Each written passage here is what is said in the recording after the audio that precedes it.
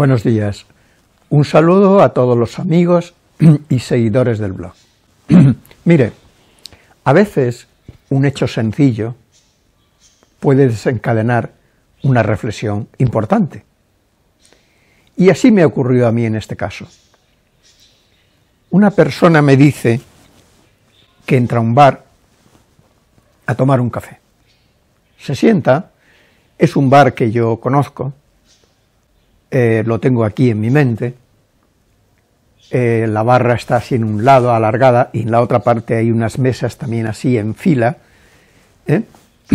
Se sienta en una mesa y le dice a la camarera, oye, por favor, ¿puedo abrir la puerta? ¿Puedo dejar la puerta abierta para que se ventile el local? Porque veía que no había nada abierto y esta paciente pues tiene cuidado con esto del COVID. Ustedes saben que es importante que los locales estén estén bien ventilados. Va hacia la puerta y la abre. Y otra señora que había en la mesa de al lado le dice, oiga, oiga, que yo tengo frío. ¿Por qué usted abre la puerta? La señora le dice, bueno, le he abierto por esta razón, por la que lo acabo de decir. Y entonces la señora va y cierra la puerta. Esta señora tiene así un breve, una breve discusión con ella, pero no va o no, no, no afirma su voluntad de que lo mejor para este momento y en ese bar que había gente, no estaban ellos dos solos, lo mejor era que el, local estuviera refrigerado, porque es lo que recomiendan todas las personas que se dedican o que son especialistas en esta pandemia, en el COVID. La persona me dice, se quedó frustrada. Ella se quedó frustrada. ¿Por qué?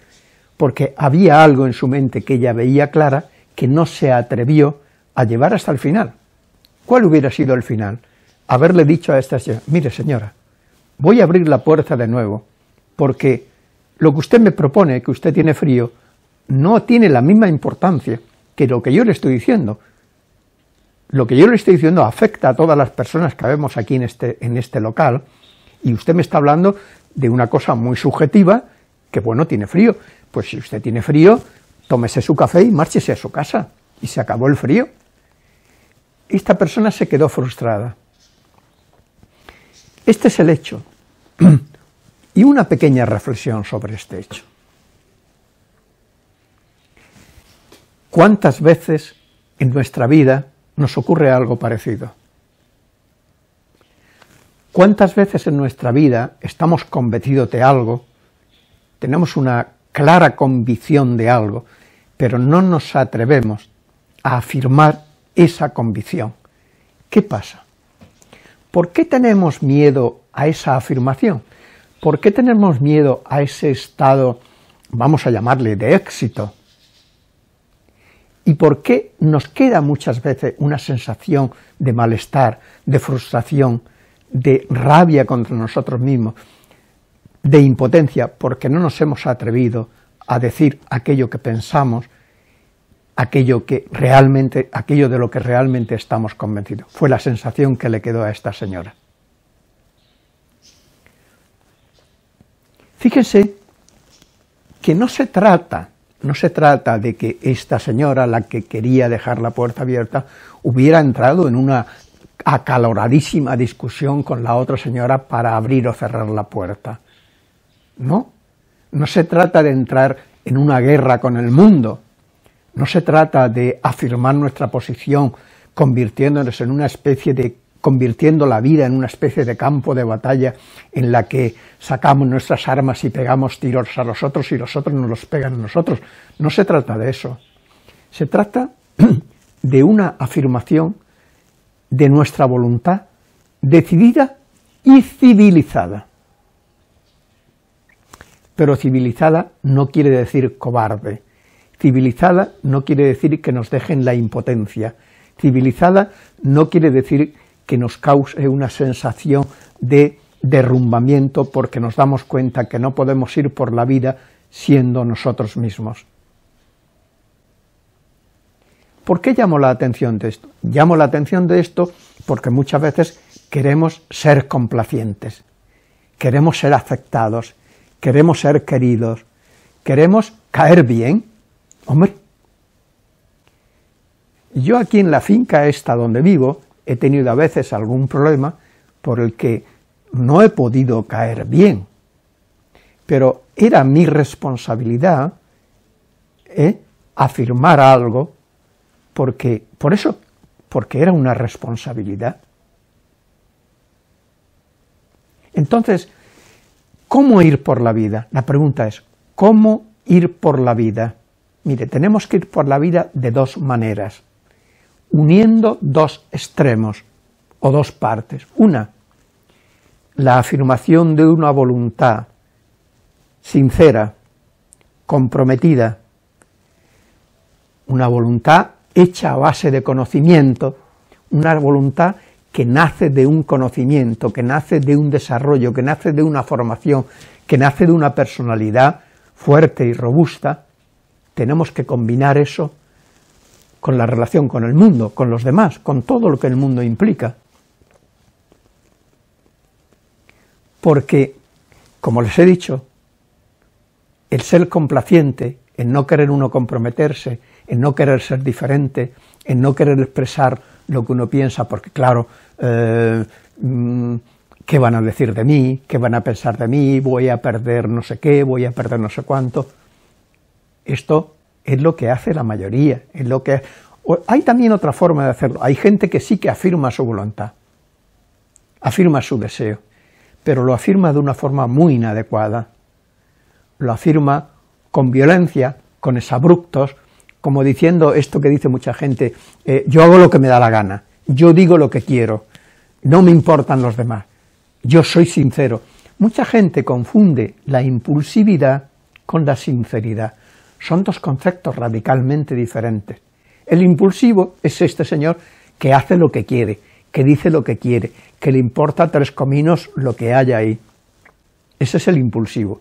El sincero es aquel que habla con conocimiento, que sabe ser prudente, que sabe tener en cuenta al objeto y al sujeto, al mundo y a sí mismo, y fruto de ese conocimiento complejo que interrelaciona todo, tiene una postura decidida, prudente y al mismo tiempo afirmativa ante la vida.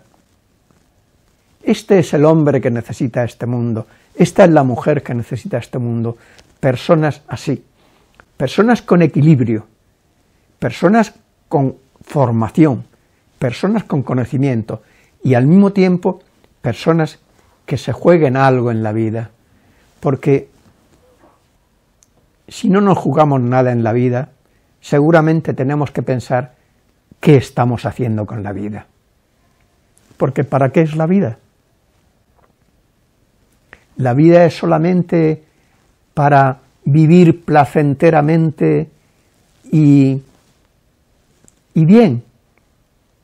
O la vida es para tomar conciencia de lo que somos y de lo que es este mundo y actuar en consecuencia.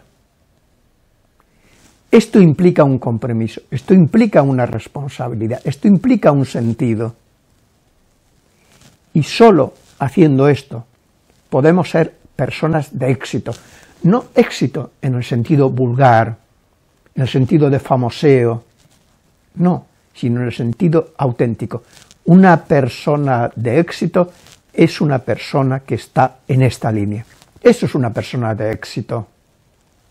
Una persona de éxito no tiene por qué ser una persona famosa. El otro día le decía yo a un paciente en la sesión, porque esta persona se derrumbaba, y yo le dije, le dije esto, usted es verdad, le dije, es verdad que usted no es una persona famosa. Digo, pero usted es una persona de éxito.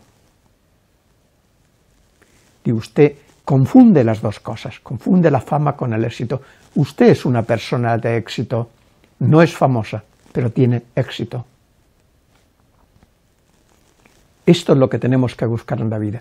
Y tenemos que ser personas de éxito, porque solo siendo personas de éxito podemos tener un sano amor a nosotros mismos. No tenemos que tener miedo al éxito. Esta persona tenía que haberle dicho a la otra en el bar, haberle dicho, oye, mire señora, ahora lo importante no es su frío, Ahora lo importante es que este local esté ventilado. Y yo he actuado con prudencia, porque incluso le he dicho a la dueña del bar, la que estaba allí, que si podía abrir la puerta. No he sido brusca con ella, ni con usted, ni con nadie. Estoy intentando que aquí en este local estemos en las condiciones adecuadas para no contagiarnos, porque alguien de nosotros, o yo misma, o usted, puede estar infectada y no saberlo. Y si el local está todo cerrado, pues no, no, es bueno para, para, para nuestra salud. Pero esta persona tenía que haber dado este paso, tenía que haberse enfrentado con claridad, con voluntad, con firmeza a esta otra persona, con prudencia, pero con firmeza. Esto es lo que tenemos que hacer ante la vida. No ser bruscos, no andar con esa brusto, no confundir eso, puedo hacer lo que me dé la gana. Ah, no, yo es que yo hago lo que me da la gana. Esto que se oye en muchas expresiones de mucha gente que sale, por ejemplo, en la televisión. No, no, yo es que soy muy sincero. Yo digo lo que pienso siempre. Esto lo oigo constantemente en gente que sale en la televisión. Confunde la impulsividad con la sinceridad. La sinceridad es fruto de la madurez y fruto del entendimiento. La impulsividad es fruto de la inmadurez y fruto simplemente de ser una persona muy primaria, que sí tiene ciertos rudimentos que tenemos todo ser humano, pero ha construido muy poco sobre eso. Y por tanto su vida está hecha de ese abrupto, de impulsividad, bum, bum, bum, bum, bum, bum, bum, así como arrasando con todo, ¿no? Como arrasando con todo. No podemos arrasar con todo. Tenemos que ser prudentes, conocer el mundo para actuar adecuadamente, responsablemente y con firmeza frente al mundo. Bueno, pues nada más. A ver si podemos convertirnos en este tipo de personas, ustedes y yo, y hacer algo por, por nuestra vida y por este mundo. Gracias.